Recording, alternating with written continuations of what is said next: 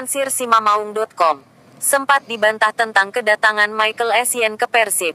Akhirnya manajemen memastikan kehadiran mega bintang tersebut untuk kompetisi 2017. Essien diperkenalkan Persib.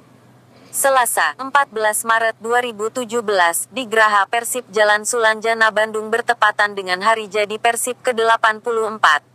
Hal ini membuktikan bahwa klub kebanggaan Bobotoh tidak main-main soal mendatangkan pemain bintang usai gagal mendaratkan Ronaldinho sebelumnya. Essien diketahui sudah berada di Indonesia sejak Minggu, 12 Maret ia menjadi topik hangat seharian pada Senin, 13 Maret, usai salah seorang mengunggah foto kebersamaan dengan pemain di Jakarta.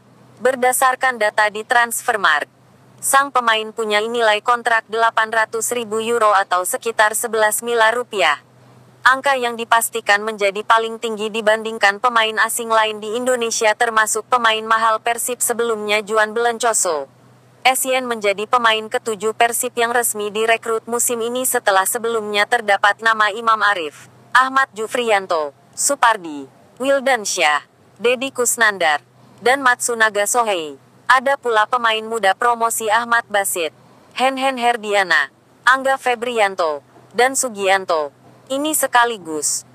Buat kuota pemain asing, 2 plus 1, Persib terpenuhi setelah ada nama Vladimir Fujovic dan Matsunaga Sohei.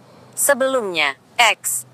Punggawa timnas Ghana tersebut terbilang mengkilap bersama klub besar Eropa sekelas Real Madrid, AC Milan terutama Chelsea. Persib juga mesti berhati-hati dengan pemain 34 tahun itu. Pasalnya, kekinian ia ditolak beberapa kesebelasan di Liga Swedia, yakni Hammarby, IFK Göteborg dan AIK selepas diputus kontrak oleh klub Yunani Panathinaikos akibat cedera lutut. Dengan segala keistimewaan dan permasalahan yang dihadapi Essien dalam beberapa tahun terakhir, tentu diharapkan Bobotoh dia menjadi pemain yang tepat ideal dan cocok untuk skema yang akan diterapkan pelatih Jajang Nurjaman. Tepat dan buat Janur tak kebingungan memakai pemain yang sebenarnya sudah ada nama Haryono. Kim Yefri dan Deddy Kusnander di pos yang sama. Semoga. Welcome Essien. Sekian info dari kami. Silakan klik subscribe untuk info selanjutnya. Terima kasih. Salam. Kurang update news.